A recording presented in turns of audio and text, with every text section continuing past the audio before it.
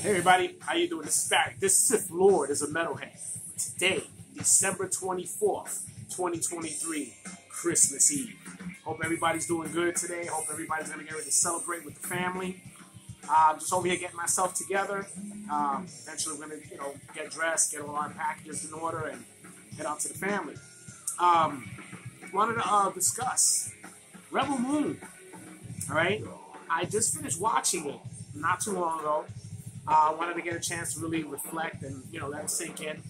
And um, and I gotta say something. Um, look, I really get where a lot of um, you know some I guess a lot of the critics maybe didn't like it or you know the basic snack, uh, Zack Snyder theme of it and so on and so forth.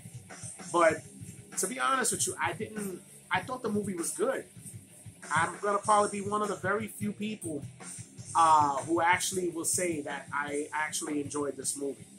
Um, it had some, uh, it had a decent story. Um, the character development was good.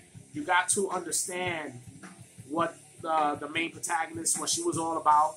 She had a backstory. You understood what she was about, who she was, why she could kick ass as a female, and so on and so on. So it wasn't just one of these woke females that were just going in there just kicking every man's ass just because she has a history.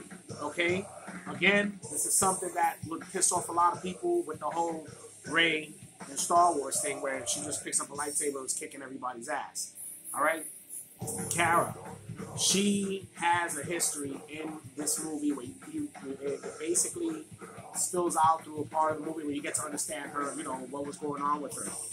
And um, you know, just the, the, the, the, building of, of the movie itself, what it was going through, you know, the whole reason why they want to rebel. You know, again, it had, yeah, it takes a lot of, it cherry picks off a lot of movies. Okay? Seven Samurai, 300, Star Wars, Total Recall, The Matrix, Dune, um, even Chappie. I, I thought the robot uh, that was in this movie, you know, who's, you know, he became like one of those things where you, you feel bad for him, remind me so much of Chappie. You know, that's, uh, I think Anthony Hopkins is doing the voice of that robot. And, um, you know, again, it was more like, okay, if you watch this movie and you just look at it for what it is, you know, it was, it, it wasn't boring. You know, it went through its process of what they were doing when they were trying to get all these little warriors or seven samurai style characters together. And, um, you know, I'm actually interested to see what the second one brings. Okay? The only issue that I do have is that I believe Zack Snyder wanted to make this movie was rated R. Uh, I don't know what the fuck happened with Netflix that they didn't let him do his rated R version. Um, you know, and I heard that there's now a director's cut to this, which I don't understand why you just let him just do his movie the way he wanted to do it. Just let it be rated R. It's freaking Netflix.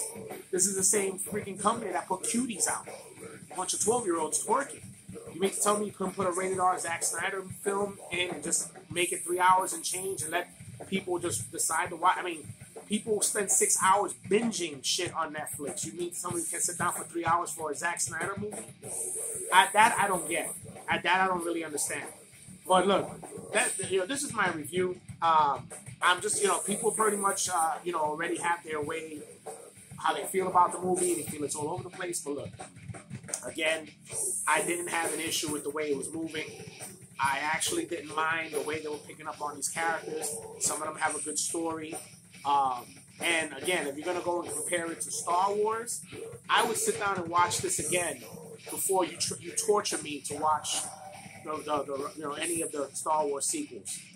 All right, especially the you know uh, the Last Jedi. Oh. anyway, but that's my take.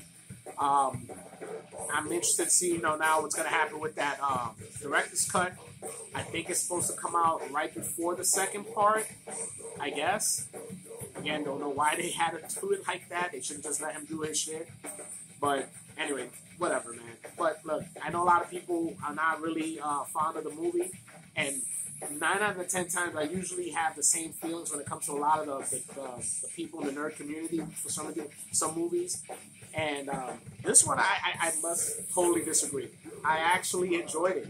And I know I'm going to get bombarded in the comments about it, but it is what it is. You know, but hey, Merry Christmas to everybody. I hope everybody's having a great time. I want to thank everybody who's been subscribing to the channel. And, uh, you know, and everybody else who's new, old, appreciate it. Also, don't forget to uh, go into my Facebook page, the Sith Lords merch, to go and pick up some uh, some uh, some cool stuff. Got some new designs there, and uh, we'll just keep this ship rolling. I want to thank the solid producer Rich, always coming in and, and throwing in some pretty cool videos for me and some reviews and stuff. He's been a great part of the channel, along with uh, my other channel, that Goat Metal Show, which he's a big part of, and I thank him every day for that, man. Thanks a lot, Rich. Appreciate it. All right, guys, that's all I got right now. This is my review of Rebel Moon. I feel it was a great movie. You might think otherwise, but that's what I got right now. All right? Take care. Enjoy the holidays. Barry, this Sith Lord is a metalhead. May the Force be with you.